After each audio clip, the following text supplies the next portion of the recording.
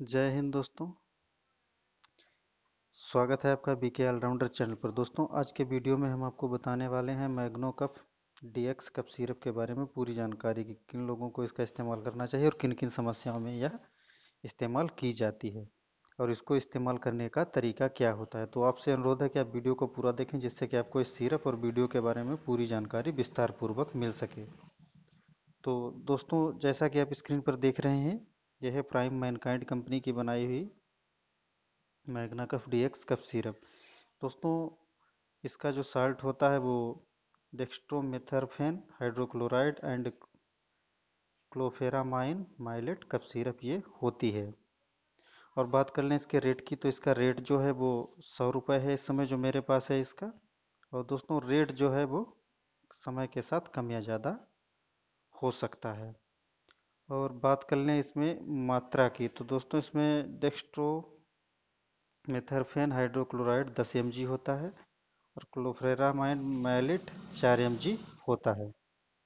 और दोस्तों ये प्राइम मैनकाइंड बहुत ही बढ़िया कंपनी है दवाइयों की, बहुत ही अच्छे इसके प्रोडक्ट होते हैं। और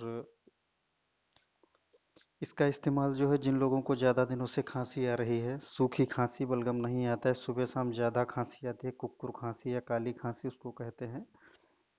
तो ऐसे लोगों को इसका इस्तेमाल करना चाहिए। डॉक्टर की देखरेख और डॉक्टर के परामर्श के अनुसार। और दोस्तों, इसकी जो डोज होती है, वो पाँच साल से दस साल के जो बच्चे हैं, उनको पाँच एम सिरप, सुबह पाँच एम सिरप, शाम को पिया, पिलाने के बाद गर्म पानी देना है थोड़ा, सिरप के बाद में, सुबह और शाम दोनों टाइम। और जो लोग 10 से 18 या उससे ऊपर के हैं, उनको 7.5 एम सिरप सुबह और 7.5 एम सिरप शाम को मतलब साढ़े सात एम सिरप सुबह शाम पीनी चाहिए। और उनको भी सिरप पीने के बाद थोड़ा गर्म पानी, आधा गिलास लगभग पी लेना चाहिए।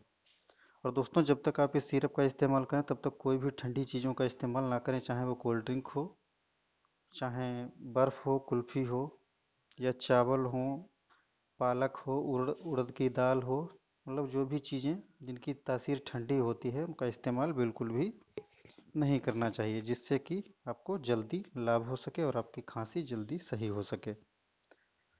तो दोस्तों, ये तो थी Magnacof D X cough syrup के बारे में पूरी जानकारी जो मैंने आपको दी है। उम्मीद करते हैं दोस्तों कि आपको हमारी जानकारी पसंद आई होगी। तो दोस्तों, इसके फ़ायदे के साथ जान लेते हैं इसके साइड इफ़ेक्ट के बारे में।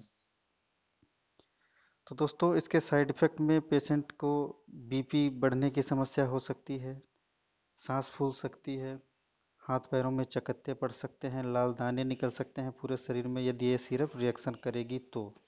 और किन्हीं लोग किन्हीं किन्हीं लोगों को जो है कुछ लोग ऐसे होते हैं, उनको लूज मोशन की समस्या भी इसके साइड इफ़ेक्ट होने पर हो जाती है। तो दोस्तों, इनमें से यदि कोई भी समस्या आपके साथ होती है तो आप इसका इस्तेमाल तुरंत ही रोक कर अपने डॉक्टर से संपर्क करें। और दोस्तों, इस दवाई या किसी भी दवाई का इस्तेमाल अपनी डॉक्टर की देखरेख और डॉक्टर के परामर्श के अनुसार ही करें। अपनी मर्ज़ी से किसी भी दवाई का इस्तेमाल करना आपके लिए हानिकारक हो सकता है। ये जो मैं दोस्तों आपको वीडियो बना के जानकारी देता हूँ, ये केवल आपका नॉलेज बढ़ाने के लिए, ना कि इसलिए कि आप किसी भी दवाई का इस्तेमाल अपने आप घर पर ही करने लगें ये आपके लिए हानिकारक होगा। तो दोस्तों, उम्मीद करते हैं कि आज का वीडियो आपको पसंद आया होगा। तो यदि अभी तक आपने हमारे चैनल को सब्सक्राइब नहीं किया है और आप हमारे चैनल को सब्सक्राइब करके बेल आइकन ज़रूर दबा दें और हमारे वीडियो को लाइक और शेयर ज़रूर कर दें दोस्तों, जिससे कि आपको आने वाले हर नए वीडियो की जानकारी सबसे पहले मिलती रहे। मिलेंगे फिर किसी दिन। तब तक के लिए दीजिए इजाज़त, अपना ख्याल रखिए। जय हिंद, जय भारत।